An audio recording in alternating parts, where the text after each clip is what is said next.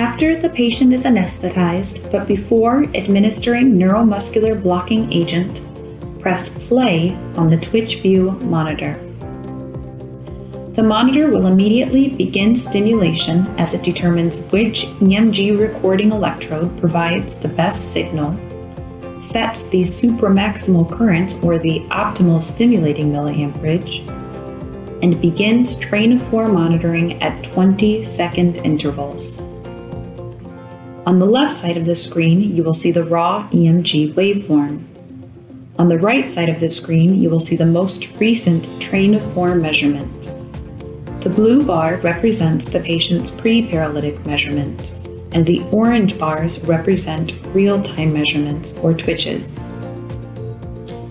After paralytic is administered, you will see pharmacodynamics in action. When four twitches are present, the monitor will measure the train of four ratio, or the ratio of T4 to T1. Once the fourth twitch disappears, the monitor will measure the train of four count. The first time the monitor measures a train of four count of zero, it will ask if you'd like to proceed with post-tetanic count.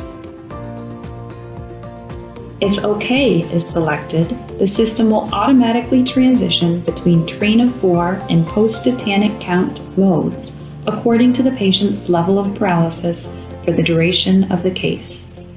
If cancel is selected, the monitor will remain in train of four mode. Prior to every post-tetanic measurement, the monitor runs a train of four. If there is no response, the monitor will proceed with tetanic stimulation followed by single twitches. The post-tetanic count can range from 0 to 15. A post-tetanic count of 0 represents profound paralysis, and a post-tetanic count of 15 indicates that the patient will respond to train of four stimulation soon.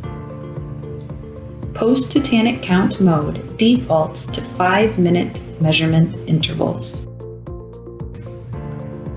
When a response to train of four is registered, the monitor will automatically transition back into train of four mode.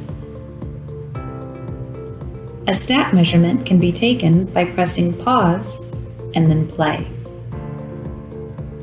To change the measurement interval, touch the countdown timer and toggle to the desired time. Press play to resume monitoring.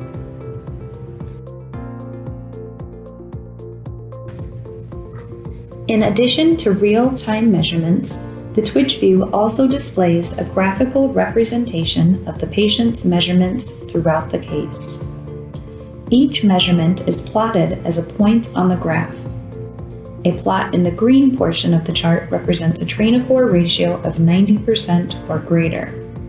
A point in black represents a train of four count of 4 with a train of four ratio below 90%. Light gray represents a train of four count between 0 and 3. And dark gray represents a post-tetanic count measurement.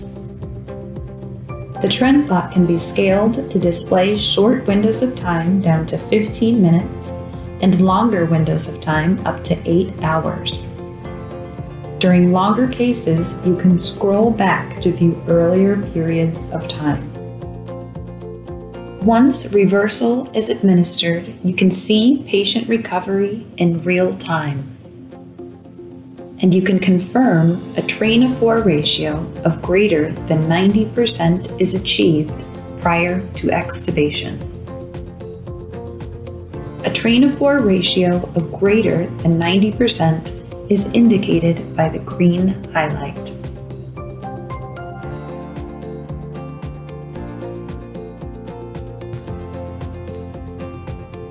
Once the patient is awake, pause monitoring.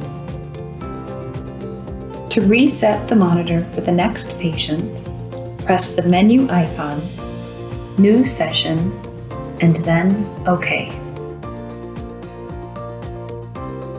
If the patient is paralyzed prior to startup, the monitor will default to 60 milliamps and measure electrode 1. The measurements will be accurate, but you will not see the pre-paralytic blue bar.